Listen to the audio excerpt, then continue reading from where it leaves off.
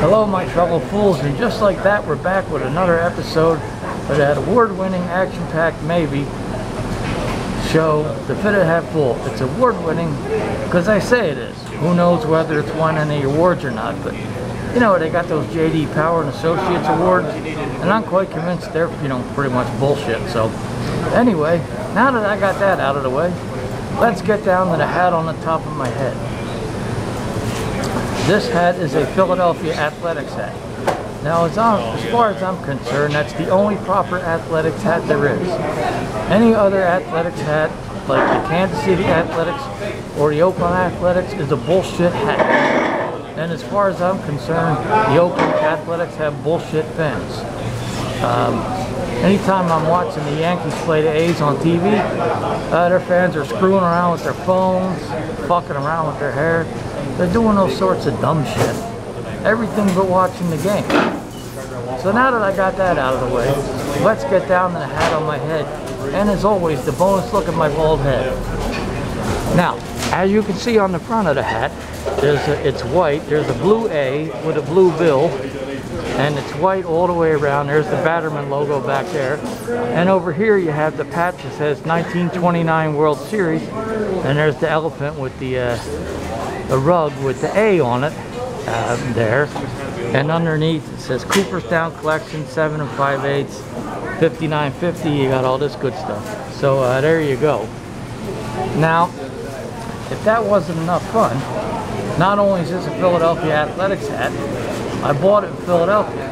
I was going on a flight and I had some time to pass at the airport, so I thought, hey, they got a Lids. Let me go in there and look at hats.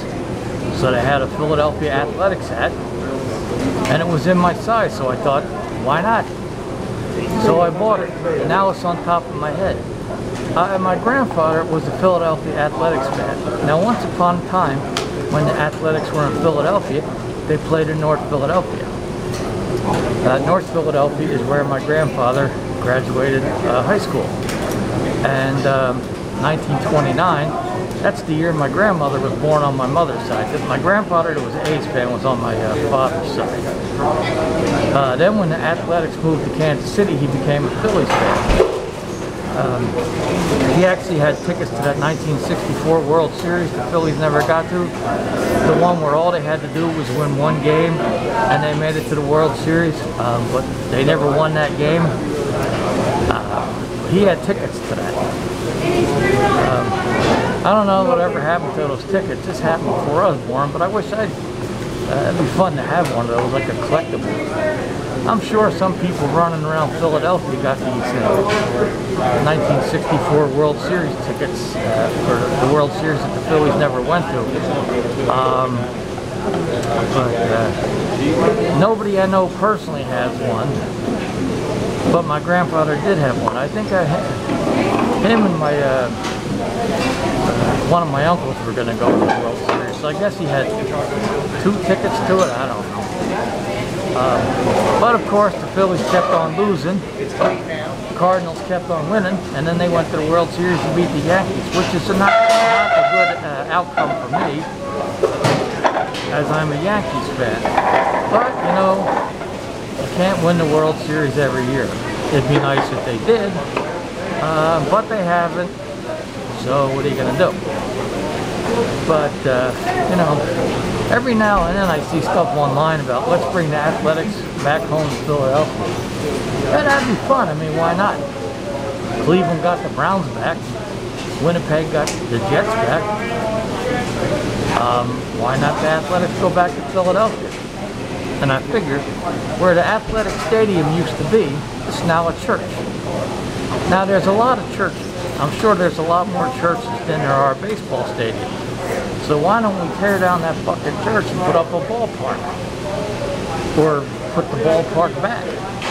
Call it Connie Mack Stadium. Build it just like it was. You know, I mean, even if one, you could even put up that uh, white wall they had to keep people from uh, go up on the roof across the street and all that good stuff. Uh, you know, will this happen? I don't know. But I mean, as I said, there's a lot of churches. Churches don't pay tax. They're not really bringing in much revenue. The ballpark will bring in revenue and, and stuff for the city, so that's that's more handy than a church as far as I'm concerned. Uh, if I got a choice of going to the ballpark or going to the church, uh, I'm going to go to the ballpark. In fact, the last time I went to the, uh, a baseball game was on a Sunday.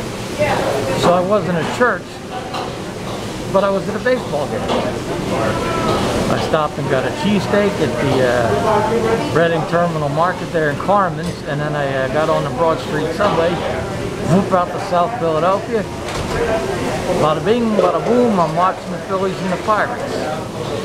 Um, in fact, I was wearing a Pirates hat. Years ago, my Uncle Bob said, if you go to a, a ballpark wearing a hat of another team in Philadelphia, you're going to get your ass kicked. Well, I wore a Pirates hat. Nobody did anything.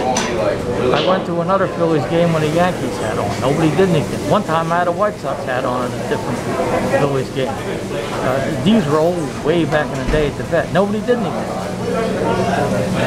And that's nice. You wear what you want. You pay your ticket, park your ass in the seat, and you wear what you want. And I felt like wearing a Pirates hat. Why not? Uh, you know, hey, I paid for it. I'll wear it. Let me look at the time again so I don't miss that bus. I hate missing buses. I got 20 minutes yet. Plus, if I miss the bus, then I gotta sit in this fucking shopping center an hour. And um, I've already accomplished everything I can here, so uh, you know, there's nothing to do here for an hour. So, uh, you know, let's take one more look at the hat, shall we? All right, let's do that. Alright, so there's the A on the front, there's the blue bill, white all the way around. There's the Batterman logo, and there's the uh, 1929 World Series patch on the side. Uh, now this patch actually came with the hat. Sometimes I buy hats and then I buy patches later and then I sew them, well I don't sew them. And my wife sews them onto the side of the hat but uh, this patch actually was on the hat. So I didn't have to have it uh, sewed on later. It was already there. So, uh, and I bought this at the Philadelphia International Airport. Uh, I want to say the abbreviation for that is, uh, I, you know I should know that, being from the area. PHI maybe? I don't know. I just know I get on the airport train in Center City, and then a half hour later I'm at the airport. Except zoop, zap, zoop. That's convenient. You know, uh, yeah, like in the summers when I go visit my father, my mother would always drive me to the airport. I'm like, just let me take the train to Philly, then I'll switch to the airport train and get myself there. You don't gotta bother driving from South Jersey all the way out to South Philadelphia. But, I don't know, she wouldn't have any, any of that, but you know what? It's her gas money, what do I care? It wasn't coming out of my pocket. I guess I might have cared if it was coming out of my pocket, but uh, it wasn't, so I don't. So on that note, uh, thanks for watching. Tell your friends, tell your enemies, and your loved ones to subscribe to my channel, The Fitted Hat Fool, where I'm the fool, all the hats are fitted, and also click that notification bell. So then you'll, you'll get home and you'll go, oh, another notification. The Fool has uploaded another video. Who's the Fool? Here he is, Fitted Hat Fool. Thanks for watching. Tell your friends, your enemies, and your loved ones.